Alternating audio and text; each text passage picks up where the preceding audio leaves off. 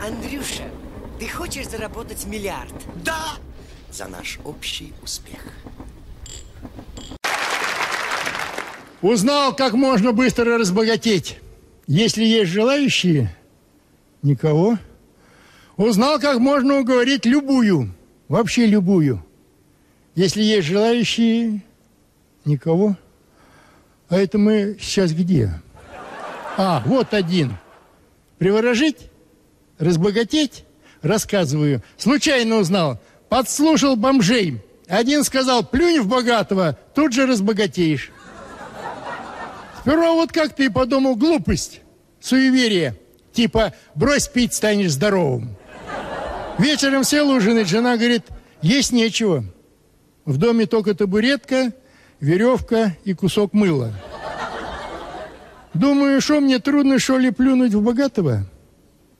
Где его только найти? Они еще сейчас стали плохо одеваться. Специально, чтобы их путали с бедными. И не грабили всякие Робин Гуды. Ума-то нету. Это в Англии грабили богатых, отдавали все бедным. У нас наоборот все. У меня недавно с одним олигархом неприятная случилась история на этой почве. Он где-то по блату достал костюм, точь-в-точь, как у меня. А я у нас в переулке беднее всех. А еще он одного роста со мной. Короче, прибеднился он, идет по улице, и тут моя жена с работы возвращается. И так получилось, совпало просто. У них на работе у кого-то день рождения был, они отмечали. Как он родился, так они и начали отмечать. Тот в пять утра родился.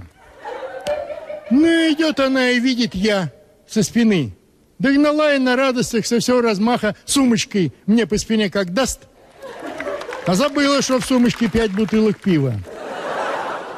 Слава богу, олигарх быстро пошел на поправку. Состояние стабильное. Две недели уже. Стабильно тяжелое. Извини, я отвлекся. Думаю, что мне трудно, что ли, плюнуть в богатство? Да хоть во всех. Выскочил на улицу, куда идти? Пошел к ювелирному магазину. Внутрь не стал заходить. Хотел, не пустили. Ладно, стою возле, смотри, идет один, хорошо одет, и народу как раз никого. Подходит, я плюнул ему в лицо. Он вытерся и говорит, разве мы с вами знакомы? Все, кто его знает, плюют в него. Чиновник оказался. Ну, что ты, бедный урод какой-то. Что делать? Побежал к ресторану. Только прибежал, выходит, пузатый, коньяком за версту. В руке сигара кубинская, из носа дым, из ушей черная икра. Я подскочил, плюнул в него.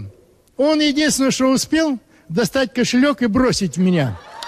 Метил гадина в висок чтобы убить наповал. Но я увернулся, поймал кошелек и побежал. В кошельке оказались доллары. Много. Если перевести на наши деньги, почти 40 тысяч евро. Я сразу в банк, оттуда сразу в полицию. Евро оказались фальшивые. То есть примета работает. Плюнул в жулика, получив фальшивые деньги. В полиции я схитрил, сказал, что нашел кошелек. Мне поверили, сразу отпустили. Буквально неделю побыл у них, и тут же отпустили. Пошел к себе. И я уже отчаялся было. Но месяца через два стою как-то утром на улице, рано, еще не завтракал. Третий день.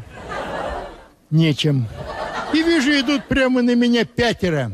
Все в золотых цепях, золотых зубах, один с золотым глазом, Редкая удача. Думаю, в кого-нибудь да попаду. Не может быть, чтобы не попал. И редчайший случай. Попал сразу во всех. Через неделю пришел в себя и решил, все, еще один раз плюну в первого попавшегося, и все, и завязываю с богатством. И вот Бог-то есть. Вышел на улицу, навстречу идет парнишка.